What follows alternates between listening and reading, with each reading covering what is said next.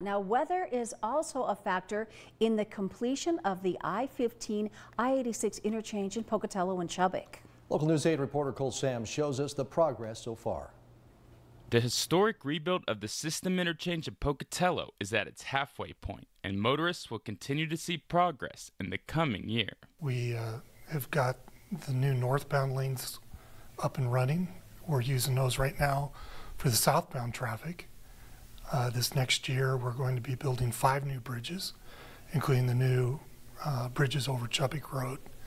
And hopefully, we'll be having everything open by next year. With many additions to the project now completed, the interstate is changing by the day. It could be especially confusing at the Pocatello Chubbuck divide just past the Northgate exit. That divide over by uh, Northgate is required because of the change in elevation. Um, the new grade is higher than what it was before. Unfortunately, if you're getting onto the interstate from Northgate, you're not going to be able to move all the way left to head south towards Salt Lake. Once the ITD completes the new southbound lanes, that problem will go away.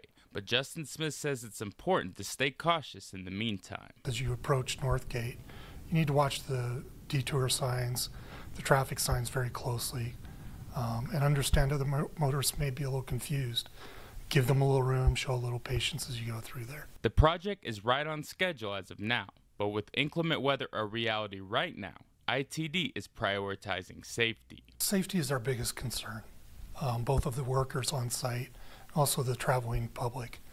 So our plows are out, they're salting the road, they're getting ready to deal with oncoming storms. Um, the real key here is people need to slow down. There is still plenty of work to be done, but the ITD has a plan for 2024. As we go into this next year, we're going to see more and more improvements. But there's been a lot of dirt moved, a lot of bridges put up, and a lot of road that's been paved. For Local News 8, I'm Cole Sams.